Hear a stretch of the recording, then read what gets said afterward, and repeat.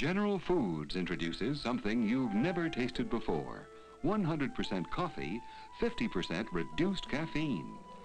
It's called the perfect cup because extra care makes it extra rich. Reduced caffeine makes it smooth. The perfect cup has the perfect taste to get you going, really rich and smooth. It's 100% coffee, 50% reduced caffeine. The perfect cup in fresh ground or instant coffee.